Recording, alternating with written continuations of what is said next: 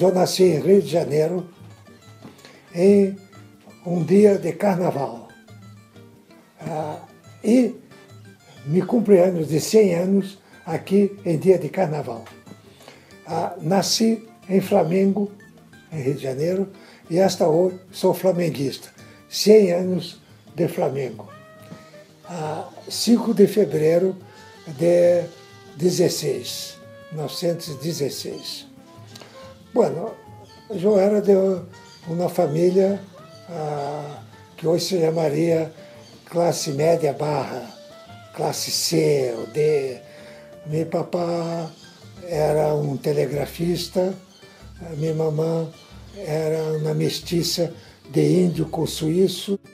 Eu queria estudar medicina, porque meu interesse não era cuidar dos enfermos, e sim a ser o que hoje se chama de biologia. E naquele então solamente poderia ser biologia os médicos.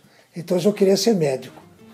E por isso comecei a me preparar para ser médico quando, por circunstâncias diversas, eu supe que havia uma profissão igual, que era veterinária. Então, eu hice concurso para veterinária do Exército em Brasil, em Rio de Janeiro. Eu percebi com os estudos de educação que era a mesma coisa, a mesma coisa, medicina humana e medicina animal. Desses 80 anos para cá, ah, foi havendo uma separação muito distinta entre medicina humana e medicina veterinária. Pero ah, a essência é a mesma, não há, não há diferença ah, do funcionamento do corpo humano e o funcionamento do corpo animal. E com isto, pouco a pouco, se foi vendo que havia enfermidades que eram as mesmas entre o homem e os animais. Então, uma palavra que estava olvidada há muito, que era zoonoses, esta palavra entrou em circulação. E, a partir de zoonoses, vindo uma outra expressão muito conhecida atualmente, que é a veterinária de saúde pública. Existem dois grupos de conquistas. Um das enfermidades propriamente ditas, ou seja, a arábia, a peste bubônica, a brucelose. Em duas destas, eu fui durante muitas décadas especialista, a brucelose e peste bubônica. E durante também muitos anos consultor de la OPAS para isto. Bom, isto com relação às enfermidades comuns ao homem e aos animais. Pero, mais recentemente, se descobriu uma coisa que estava evidente, que era que os alimentos, em sua maioria, as proteínas, são de origem animal. Então, estes alimentos de origem animal têm que ser protegidos e bem obtenidos por los veterinários. O desafio é bastante grande. Isto porque, ah, como você mencionou, os transportes atualmente são muito rápidos. Então, as enfermidades que estão, todavia, adentro da selva latino-americana, do continente americano, do continente asiático, do continente africano, algumas enfermidades estão uh, por los animais da selva e não passam para o homem. Pero se um indivíduo, uma pessoa, vá à la selva, uh, corre esta enfermidade, ou mesmo uma enfermidade que não seja da selva, e em menos de 24 horas está em La Antípoda, de Brasil, em Japão ou China, e vice-versa. Ou seja, esse é um desafio muito grande, a comunicação rápida, e o outro desafio é que as enfermidades, eh, as zoonoses, que são típicas da atuação do veterinário, as zoonoses que estão em nítios, ah, em pequenos enclaves, essas enfermidades, se uma pessoa adquire esta enfermidade, vá para outro continente.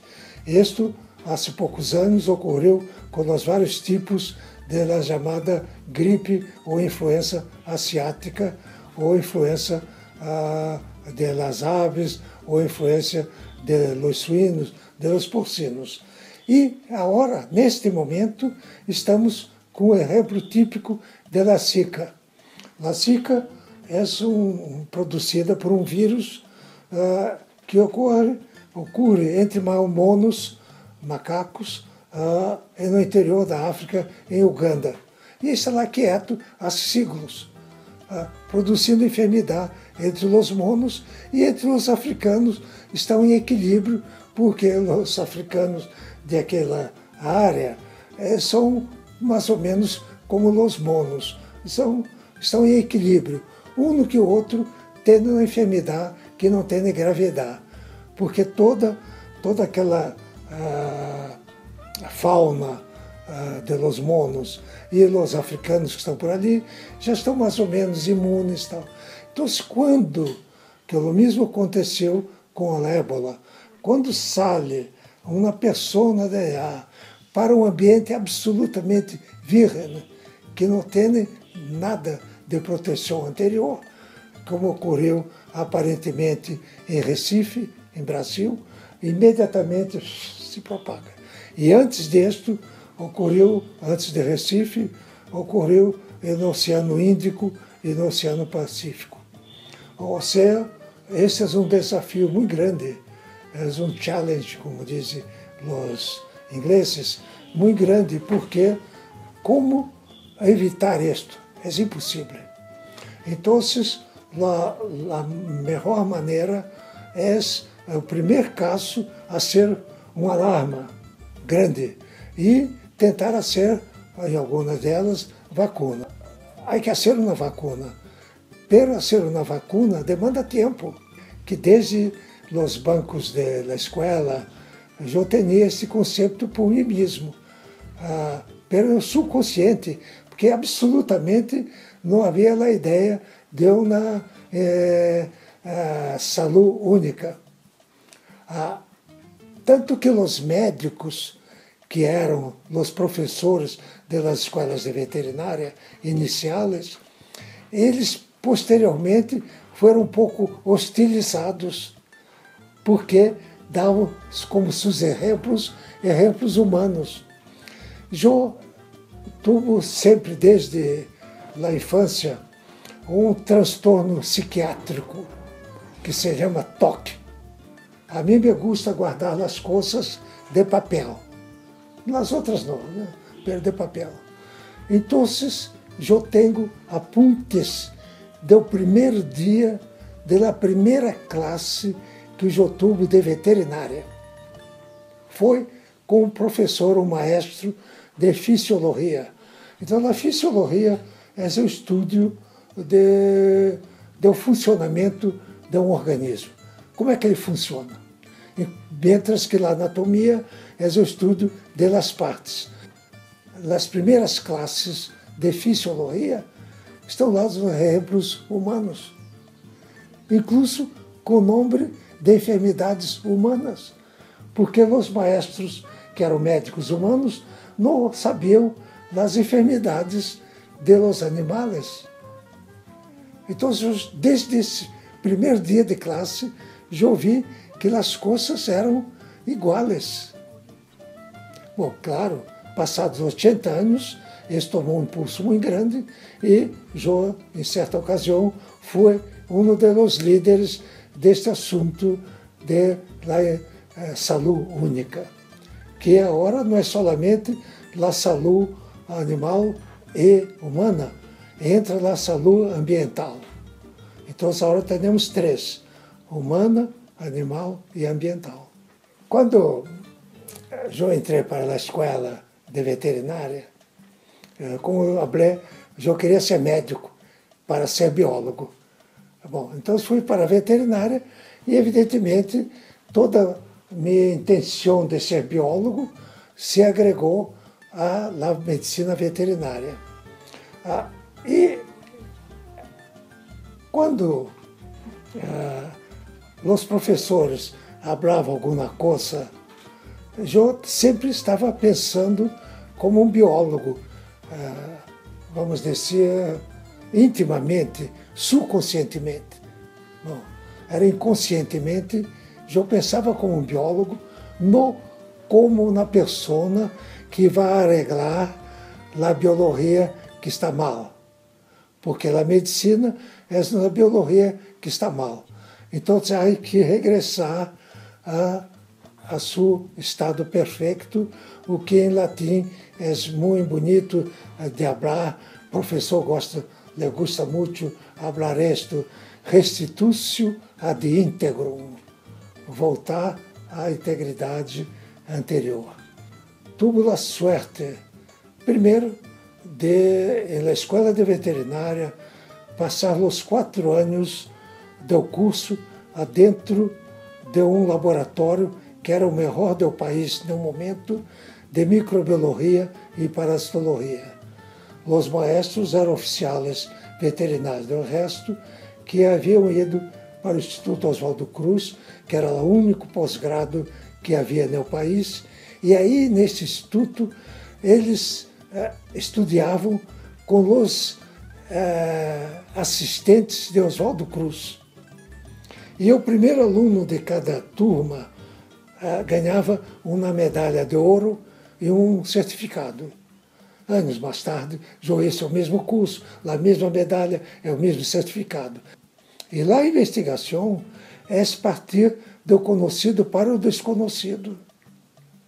Então, eu, que venia do exército, de quase 10 anos de exército, com a disciplina militar, que é a disciplina uh, natural, solamente tornada obrigatória, eu passei a disciplina científica, que é o dogma é partir para o desconhecido, que é a coisa diferente. Então, comecei a descobrir coisas. Porque nada em veterinária, oh, nada, moda, poucas pessoas faziam investigação em veterinária. Havia uh, em microbiologia uma técnica que era estropiada por um acariano, um microacariano, como se fosse na garrapata microscópica. Estropiava aquilo. Nada sabia como, oh, oh, estropiar minha Era, Lloravam, pero não, não iam ao, ao objetivo. O objetivo era eliminar ou prevenir aquele microacariano. Ah, então eu estudei o animalito. Isso de todo. Ah, e dominei a coisa. Imediatamente apareceu um Rene e esta hoje não quitaram isto, né? porque jogam as coisas diferentes. É, um cavalo morria. Morreu, está morto em terra. Não? É como a gente morreu. Passa o testado de óbito, morria. Cada cavalo que morria, Joló abria desde a cabeça até o casco. E comecei a descobrir coisas que nada abria. Evidentemente, todo esse tempo, eu tenho gosto de difundir as coisas que eu sei. Esse é um gosto que eu tenho. Aqui seria mais de ser professor. Não é, porque o professor dá ideia de este que abra e o outro recebe. Não, o meu gosto é transmitir aquilo que, que eu sei. Então, ah, para meus estudantes, eu sempre digo, hablé, hablo e hablaré, manter a curiosidade. Não crer em la voz autoritária do professor. Então, esta longevidade, eh, a primeira, o primeiro motivo é ter amigos. Aí diz, não, isso não, não é possível ter amigos.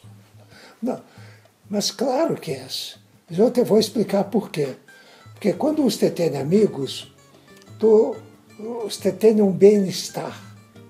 E biologicamente, para todos os seres vivos, vivos eu digo, para os seres animais, se eles estão com seu bem-estar, e durante décadas eu fui o cancan internacional de bem-estar animal.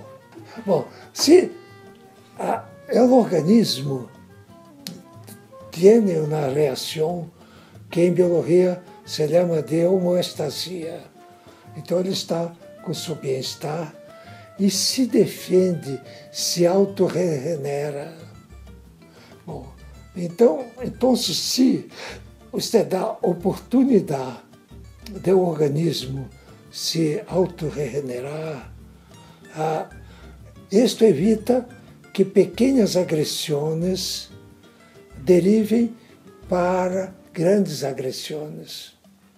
Então, se você está com seu bem-estar, isto agora, agora, está sendo estudado la ciência universal. Evidentemente, é o conceito básico para qualquer ser humano é manter a curiosidade. Bom, se o indivíduo entende de animais, manter a curiosidade sobre os animais e sempre, isto é que é, absolutamente serve para os dedos, sempre que uma coisa saia diferente do comum, não descartá-la. Saber por que está diferente. Então, isto que, que vale as descobertas. A partir do desconhecido e para o, para o conhecido. Claro que nós, eu não vou me comparar a los grandes, pero nas pequenas coisas que já hacía diferentes, eram realmente diferentes. Ou seja, há que ser diferente. E não ter medo da autoridade. Isto é que é importante. Não ter medo da autoridade. Se é diferente, bom, primeiro mirar se está errado ou não. Porque pode estar errado, né? Bom, ou segundo, bom, né? não está errado, é um fenômeno novo, vamos explorá-lo.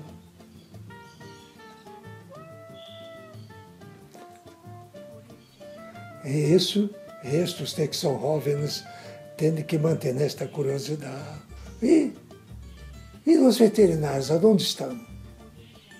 Bom, então, ah, eu estava em minha vida feliz, que eu digo aqui, 90 anos, fazendo cursos pela maçonia, feliz da vida, quando, é, por simples casualidade, estando em Rio de Janeiro, já fui forçado a assumir a Academia Brasileira de Medicina Veterinária, da qual eu sou agora o presidente. Então, pouco a pouco, nos últimos três, quatro anos, eu entrei no assunto de agronegócio, na segurança alimentar, já escrevi livros e verifiquei. Isto eu já sabia. Brasil é o país que tem a maior quantidade de veterinários, mais de 200 mil. A maior quantidade de escolas, mais de 200, e todas orientadas para a sanidade animal de animais de companhia. Então, aos 100 anos de idade, eu estou hasta aqui para uh, reverter esta situação a ser com que os veterinários entrem neste assunto de agronegócio, que no momento está sendo, as pessoas correm de um lado para outro. E para ser isto benéfico, há que entrar na medicina veterinária de saúde pública. Arejou, esquilaopas, como sempre isso, siga ah, ajudando Brasil, como outros países, ajudando para que os, os veterinários puedan ser cursos de atualização neste setor de agropecuária, agronegócio.